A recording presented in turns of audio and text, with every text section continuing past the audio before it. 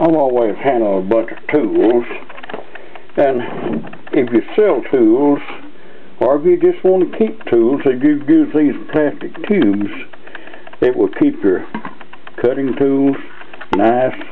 It won't let them get dull. It won't let them get hit against another piece of metal. And besides that, if you have a tool store, a hardware store, put your tools or they put your drill bits and ringers and so forth and these plastic tubes. Now these red caps are airtight and they're watertight. They're waterproof.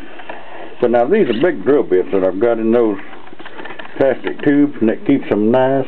I even put my welding rod into a plastic tube and it's got plastic caps on it. It's waterproof.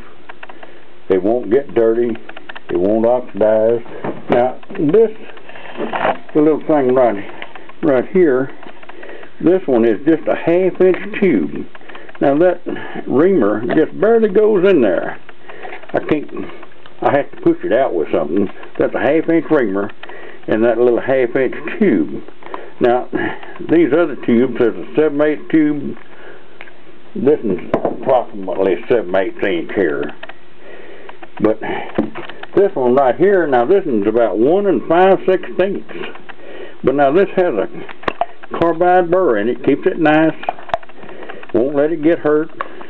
And then it looks like you think something of your merchandise too. Now, this milling cutter, this milling cutter has protective coating on it, but put it in there and it makes it would make your merchandise sell more. If you have merchandise for sale, it just makes it look better than thrown out there. Look at this right here. This is a that's a 7 8 tube, but now that's a 5 8 drill bit that I put in there.